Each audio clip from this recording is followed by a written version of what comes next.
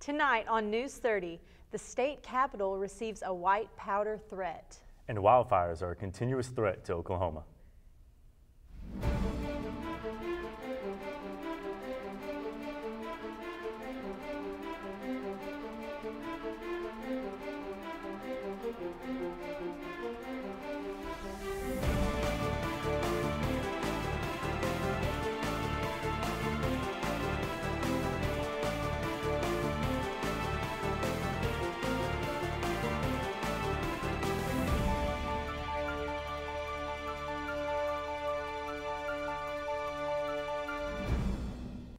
Welcome to News 30. I'm Lindsay Skinner.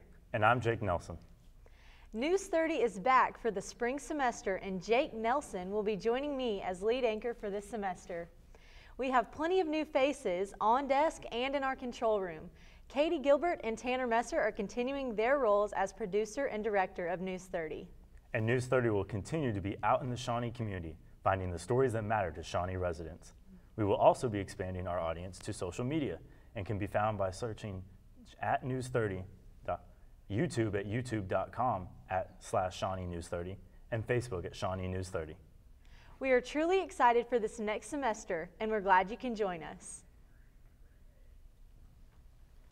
The state capitol experienced an interesting day Wednesday. Nicole Smith has more. The state capitol building was put on lockdown Wednesday after letters containing an unknown white powder were hand delivered to the legislators during the afternoon. It was discovered Adam Daniels, head of the Oklahoma City Satanist Church, had delivered the letters. Daniels was gone by the time the building had been locked down and had no clue about the disturbance.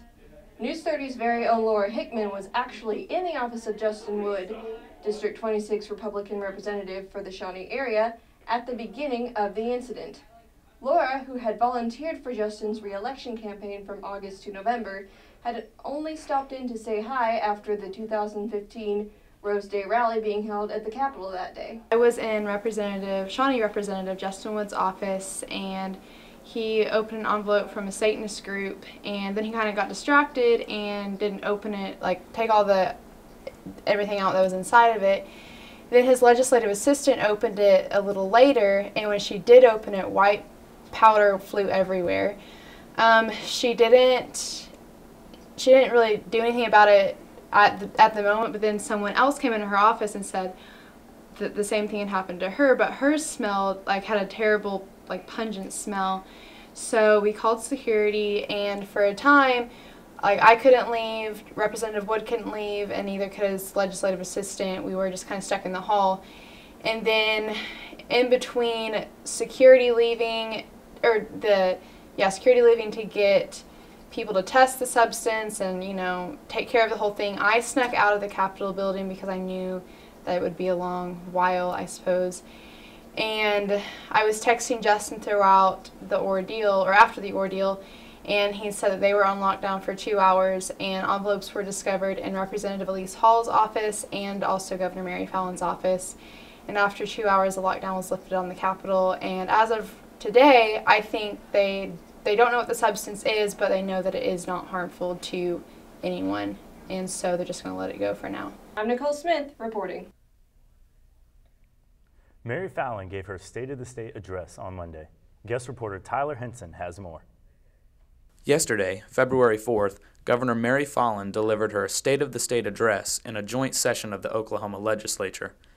Governor Fallin also down. outlined her 2015 legislative and policy agenda with the hope of continuing Oklahoma's current economic growth and job creation. She outlined some of the restorations that Oklahoma has made in the last four years, including $150 million in education funds and improvements in transportation infrastructure that had been burdened with the crumbling roads and bridges. This legislature worked with me to invest over $1.6 billion since 2011 to address those shortcomings. And today, we have 390 structurally deficient bridges down from a high of over 1,100.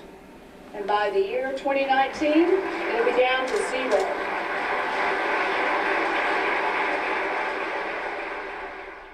Other improvements include re-imaging Oklahoma's workers' compensation system. And that system has now reduced costs to Oklahoma businesses by 22% and also allowed them to pump back in $200 million back into Oklahoma's economy. Fallin describes increased resources and funding for drug abuse treatment programs, improved services for abused and neglected children, and over 17,000 organizations in the certified healthy programs. And lastly, we successfully rebuilt and grown stronger in the wake of natural disasters. Our people are known nationally and internationally as Oklahoma Strong. Fallin addresses Oklahoma's continuing problem of students not furthering their education and how she thinks this can be improved. Now, one thing we can do now that doesn't require large sums of new money is to help strengthen the partnerships between our local businesses and schools where students can dual track their education and their work skills.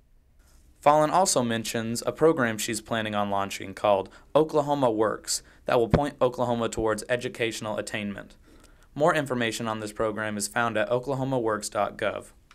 Fallin also addressed the state's budget challenges regarding the General Reserve Fund, the main source of spending set by legislature each year, which is growing smaller. Fallin ended the address with her hopes of improving efficiency in programs and higher education. She also called both parties together in meeting these goals. This has been Tyler Henson reporting to you from News 30. After being knocked down late last year, the Ten Commandments Monument is back up. The monument was built in 2012 and paid for by Representative Mike Ritz as a donation to the state. This caused debates on whether or not a satanic monument should also be allowed. Last October, a man deliberately drove his car into the monument after claiming that Satan told him to damage it. Once the monument was destroyed, the Satanic Church said they would stop plans on their monument if the Ten Commandments wasn't rebuilt. Despite this, Representative Ritz had the monument restored, which was raised, which raised concern about a month ago on January 8th. There is still question on whether the monument should be allowed to stay because of its religious content on state government grounds. Your state superintendent of education, Joy Hoffmeister, is doing her best to make the changes. Oklahoma teachers will soon see a potential increase in pay and in the number of days of instruction days. Joy Hoffmeister said her five-year plan would provide Oklahoma teachers with a $5,000 pay increase over the 2012-2013 figures and add a five-day of instruction to the school year after five years. Hoffmeister is doing her best to implement changes to the educators in Oklahoma. The proposal is said to cost $150 million in its initial year, which represents the requested $205 million budget increase to the Oklahoma State Board of Education. A potential increase in pay and instruction days could make all the difference in the teachers of Oklahoma's lives. Pope Francis will have a historical visit this fall when he plans to visit the United States. House Speaker John Boehner made the announcement that the Pope will speak to lawmakers during his visit, which will make him the first Pope to ever speak before a joint meeting of Congress.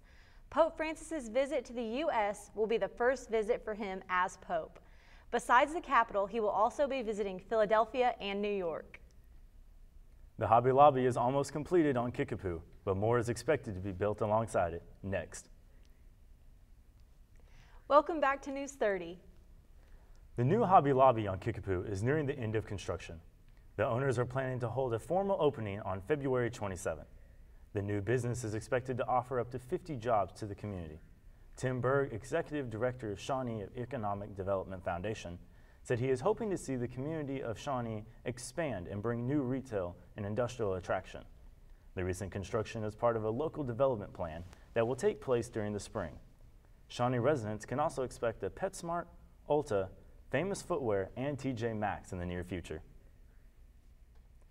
Just being the son of Billy Graham won't get me into heaven, says Franklin Graham. Franklin Graham spoke on January 26th and 27th at the 2015 State Evangelism Conference hosted by the Baptist General Convention of Oklahoma. The conference was held at First Southern Baptist Church in Del City, Oklahoma. Here, Franklin Graham was one of many important speakers. Franklin Graham is the president and CEO of Samaritan's Purse and Billy Graham Evangelistic Association. Quote, the State Evangelism Conference will be a great time of equipping for the work of evangelism, encouraging the work of evangelism, and inspiration for the work of evangelism, end quote, said Mike Napier, BGCO's personal evangelism specialist. Quote, this year, we have had two men that have been used by God in some amazing ways across North America, end quote. The flu season is expected to continue through February and into March. Unfortunately, this season's flu vaccine isn't as effective as previous years. To create the vaccine, the CDC identifies three of strands of the virus that should be of the most common in the coming season. Vaccine manufacturers then create the vaccine. This year, a dramatic shift in the virus means that the vaccine is only about 30% effective. The most common flu virus this year is a strand of the H3N2 virus. It is most dangerously to the elderly. The CDC still recommends getting your flu shot. The vaccine can protect against some types of flus, and it can even make the new strand less severe. As always, wash your hands and be beware of spreading germs. If you think you may have the flu, you can see your physician for antiviral treatment. These treatments can help you feel better sooner. Wildfires can blaze up suddenly, even in damp winter weather. Rain can actually be an enemy of firefighting. On Tuesday, fast moving flames sprung up I 35 north of Guthrie. The cause of the fire is unknown, but potential causes include a cigarette or something dragging behind a car causing sparks. Last weekend's rain left the ground soft and muddy, even though the grass was still dry and dead. Fire trucks have trouble moving over the soft ground. The grass will remain dry for the next couple of months, so do your part to prevent wildfires. Last Sunday in Shawnee, Oklahoma, Highway Patrol Trooper Nicholas Dees was killed after being struck by a vehicle while responding to another accident. The accident occurred on Interstate 40 around 10 p.m. that evening. Dees and Trooper Keith Burch were investigating a collision involving an overturned semi on I 40. Dees was pronounced dead at the scene. Burch is in a serious condition at the University of Oklahoma Medical Center in Oklahoma City. Dees was the son of a retired trooper and had a lifelong connection with the OHP. Prayers and thoughts go out to families of Dees and Burch. The weather continues to be very unpredictable in Oklahoma. Nicole Smith has your weather next. The weather is changing, but it is still pretty cold. Here's Nicole Smith with your weekly weather update. Thank you, Lindsay. We've seen some ups and downs in the temperatures this past week, but get ready for a warming trend. Right now, we're at 40 degrees with light winds out of the south with clear skies. We topped out at 42 degrees today, which is a little below normal, but we should return to normal overnight with a low of 31. Across the state, we've seen highs anywhere from down to 35 in McAlester and Ponca City, all the way up to 47 in Oklahoma City and 48 in Woodward. Tonight we should see lows in the upper 20s to the lower 30s. 31 here in Shawnee, as well as the Tecumseh area, and then down to 29 in Purcell and Holdenville. We will have clear skies all day tomorrow, starting at around 34 in the morning, and we should top around 63 at 5 o'clock. We'll be warming up quite a bit as we get into the weekend, reaching up to 75 on both Saturday and Sunday, and we should see a return of the clouds on Sunday. The warm temperatures should stick around into the rest of the week, then we'll see a cold front coming through early Wednesday, along with some rain. We'll get down to 59 on Wednesday, dropping down to 28 Wednesday night, and then only reach about 47 on Thursday. Overall, we will have a warmer pattern than we have seen this past week. That's all for weather this week. Here's Hannah Lounsbury with your arts and entertainment. I'm Hannah Lounsbury here with Arts and Entertainment. Coming up this weekend, our very own Heart of Oklahoma Exposition Center will be housing the Shawnee Gun Show. This event, promoted by GNS Promotions, provides a great opportunity to buy, sell, and trade both new and used guns. The show will be open on Saturday the 7th from 9 to 5 and Sunday the 8th from 9 to 4. Also this weekend, the Mabee-Gerrer Museum of Art hosts acclaimed artist Michi Susan. The work of this Oklahoma City artist and Governor's Arts Award winner will be in the museum from February 7th to March 22nd. For more information, visit www.mgmoa.org and look under exhibitions. That's all for this week's Arts and Entertainment. I'm Hannah Lounsbury, Jake and Lindsay.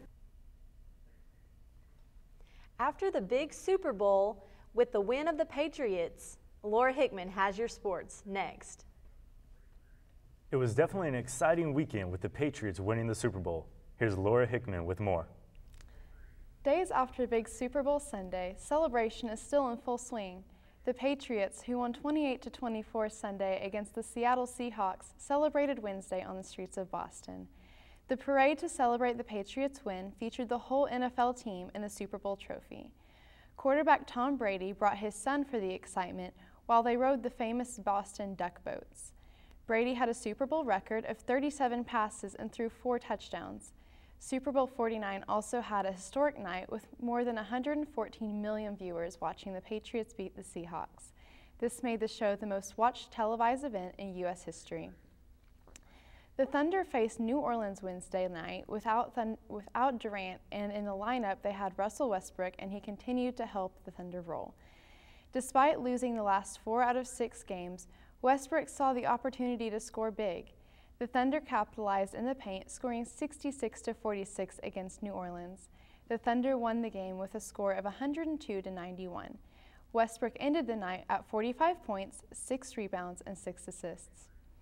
It's the biggest rivalry that OBU has ever had, and it is currently in full swing tonight. The Holy Wars mean something more than just Bison and Cavaliers. It means pride within Shawnee. As of late, OBU has dominated the series despite losing one to St. Greg's last year.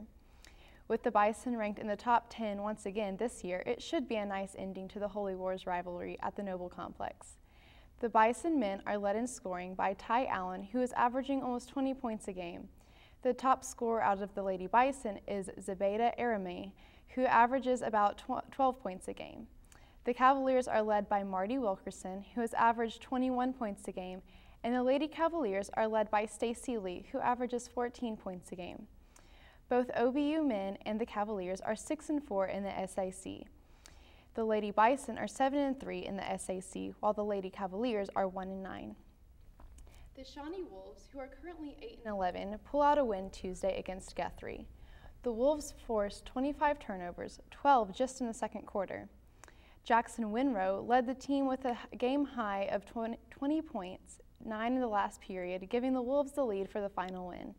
This is the only the second of the last nine games the Wolves have seen victory. The Shawnee Wolves will take on Harrah next Tuesday. That's all for sports. Lindsay and Jake, back to you. Thank you, Laura.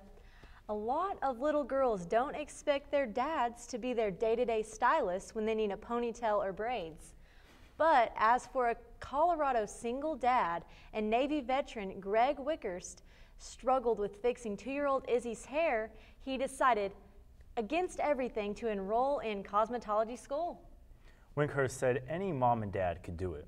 It just takes the time to learn each style. Mm -hmm. he, he currently works at IntelliTec College, but heads to the cosmetology class after work, hoping to break the gender stereotypes for parents.